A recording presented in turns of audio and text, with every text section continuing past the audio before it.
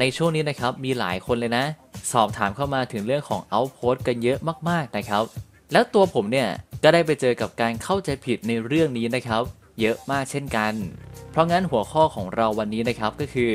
สิ่งที่ผู้เล่นใหม่เข้าใจผิดเกี่ยวกับ Outpost นะครับ ข้อที่ 1 Outpost น้ำและไฟฟ้าเนี่ยจำเป็นต้องมีตัวละครเฉพาะในการเปิดใช้งาน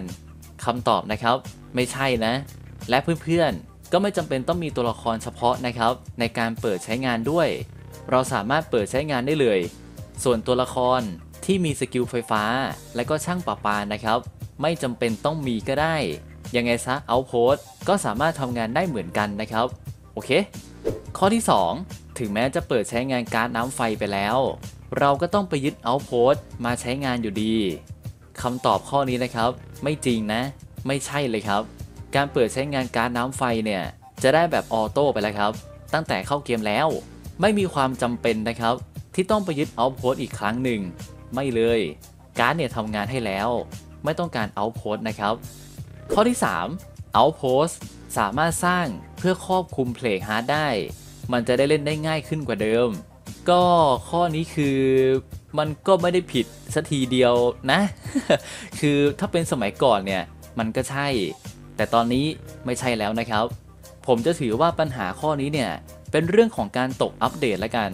ข้อมูลเก่าแล้ว มันก็เข้าใจผิดกันได้ ในสมัยก่อนนะครับ เราสามารถลง Outpost เพื่อครอบคลุม Plague Heart เนี่ย ได้และการเล่นแม่งสบายขึ้นเยอะครับ แต่ว่าตอนนี้เนี่ยมีการอัปเดตเพลง Territory เข้ามา เราไม่สามารถทำแบบแต่ก่อนได้เลยครับ ลืมไปได้เลยอะต่อมาครับข้อที่ 4 เสาอากาศในเกมนะครับ สามารถเพิ่มสปอนเรทของพ่อค้าเนี่ยให้มาบ่อยๆได้ คุณข้อนี้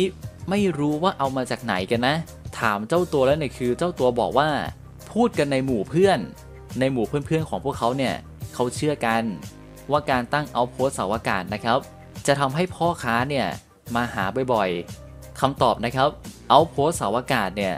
ไม่ได้ช่วยทำให้พ่อค้านะครับมาบ่อยขึ้น ไม่เลยเสาอากาศเนี่ย ลดคูลดาวน์คำสั่งวิทยุเท่านั้นนะครับ ส่วนเรื่องเทรดเดอร์เนี่ยเขาจะมาก็มาไม่มาก็ช่างแม่งครับ อยู่ที่ดวง โอเคนะครับ มาถึงเรื่องสุดท้ายนะครับเอาโพสแต่ละชนิดสามารถทำให้คลังเก็บทรัพยากรเพิ่มขึ้นได้ ข้อนี้นะครับผมก็ไม่นึกว่าจะมีคนถามเหมือนกันคำตอบคือไม่จริงนะครับ ไม่ได้ช่วยทำให้คลังเก็บของในบ้านใหญ่ขึ้น ถ้าอยากได้พื้นที่เพิ่ม ให้กดอัปเกรดสโตรเรจในบ้านนะครับ เพราะงั้นเข้าใจกันใหม่นะครับ อะโอเค เปิดโหมดเซียนวันนี้นะครับ เรื่องเล็กๆ แต่เราก็จะไม่มองข้าม จะได้เข้าใจกัน วันนี้ขอตัวลาไปก่อนเหมือนเช่นเคย ไว้เจอกันในคลิปหน้านะครับ สวัสดีครับ